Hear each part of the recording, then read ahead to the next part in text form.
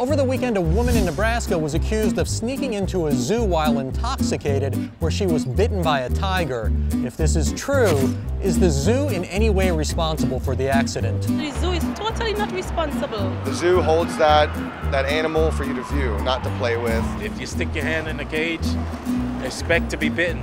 It's on you. It's on you. When was the last time you drank way too much and did something really dumb? I just remember trying to dance on stage, on the pole, and falling back. I was at a party and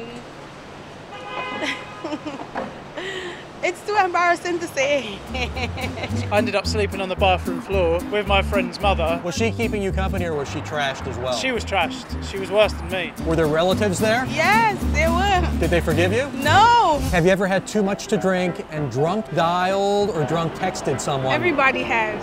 Everybody? Everybody has. Then you invite them over. That's like the worst mistake ever. Because it will devolve into a drunk booty call? It'll, right? Amen. Do the drunk texts lead to drunk booty calls? I wish. Is there anyone from your, your drunken past that you need to apologize to?